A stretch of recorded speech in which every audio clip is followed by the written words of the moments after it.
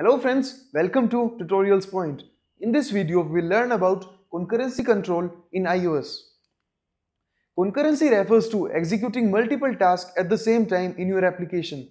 Concurrency can be achieved using dispatch queues. Dispatch queues. Dispatch queues are an easy way of executing tasks asynchronously and concurrently in your application. Dispatch queues are of two types. First, serial queues. They execute one task at a time. That is, they execute tasks one by one. Concurrent queues. They allow you to execute multiple tasks at the same time. Some of the functions that are used to create or get our queues are dispatch queue create. This is used to create a serial or a concurrent queue. Dispatch queue get label.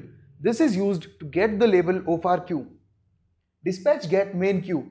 This is used to get the only main queue in our application.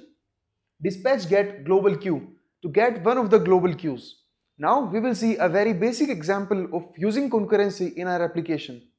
To use concurrency in our application, first I will show a very basic example of this. So in this for loop we are printing this character 10 times from 0 to 1. This will be printed 10 times. Then we are printing the value of i from 10 to 20 that is 10 to 20 so you can see this is printed from 10 to 20 so this is a very basic example of a normal code executing. Now if you want to make use of concurrency in this then first we will have to declare a variable. Let we are declaring a constant. Dispatch queue.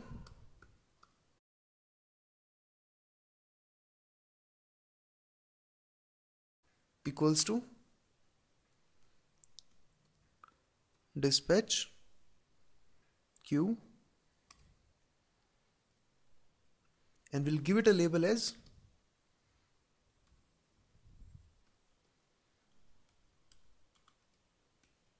test.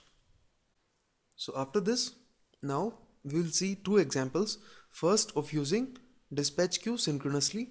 For that we'll write the name of our queue dispatch queue dot sync and inside this we'll write our first for loop.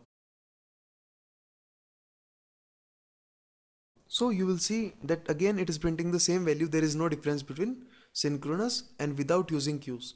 So if we don't want to use queues and we are using a synchronous function the thing is same. But the difference comes when we use asynchronous method. So now we'll type asynchronous instead of synchronous. So the shorthand for asynchronous is async a s y n c. So now dispatch queue dot is sync. So now you can see that the, both the for loops are executing randomly. That is first it is printing the character then it is printing the first value of second for loop that is 10 after that again it is printing the character then it is printing 11 then it is printing 12 after that it is printing 13 14 15 at once then again it is printing one character so this is the difference between using synchronous and asynchronous queues this is all we will do with concurrency control. Thank you